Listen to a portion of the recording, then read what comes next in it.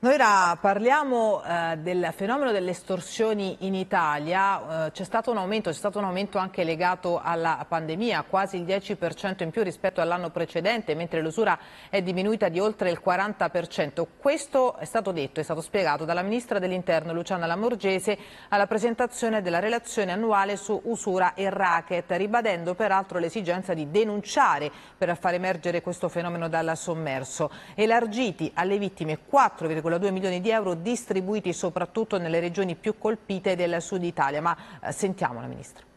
Non dobbiamo eh, dimenticare che ci sono un tipo di reato eh, sommerso per cui ci sono poche denunce e questo lo, lo evidenziamo, quindi eh, dobbiamo davvero lavorare perché eh, ci sia un maggior coinvolgimento, eh, perché soltanto eh, laddove si